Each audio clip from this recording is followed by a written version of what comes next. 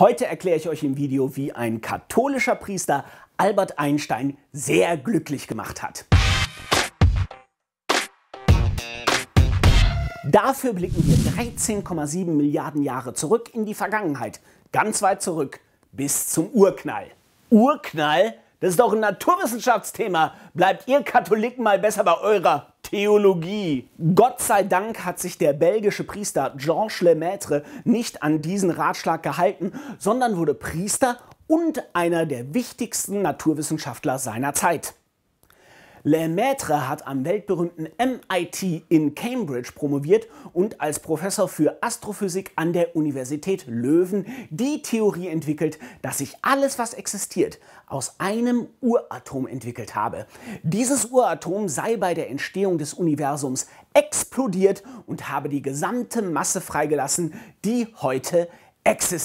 Wow, das muss ja ein lautes Bang gewesen sein. Äh, genau, seine Kritiker nannten die Theorie daher auch abschätzig Big Bang Theory, Albert Einstein und Arthur Eddington zum Beispiel lehnten die Idee völlig ab, weil sie der Ansicht waren, dass Lemaitre nur den christlichen Schöpfungsglauben begründen wollte, da in der Bibel die Welt ja auch quasi aus dem Nichts erschaffen wurde.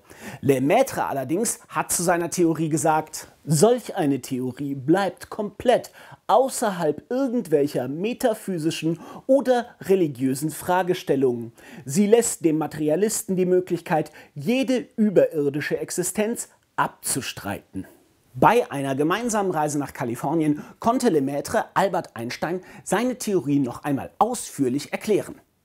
Woraufhin Einstein sagte, das ist die wundervollste und befriedigendste Erklärung der Entstehung der Welt, die ich je gehört habe.